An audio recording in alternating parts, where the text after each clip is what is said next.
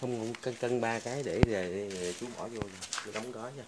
Con con cứ cân để ngoài được cân gấp đôi tờ giấy này con cân cứ 10 gram 10 gram 10 gram 10 gram là 30 bìa.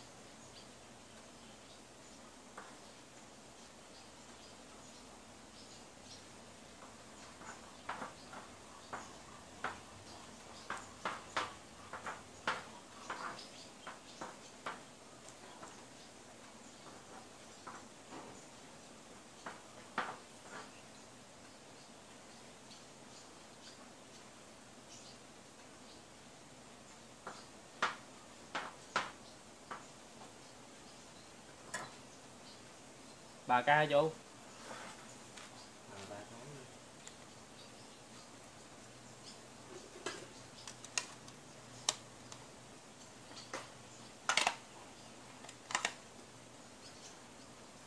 mọi người làm gì đó. không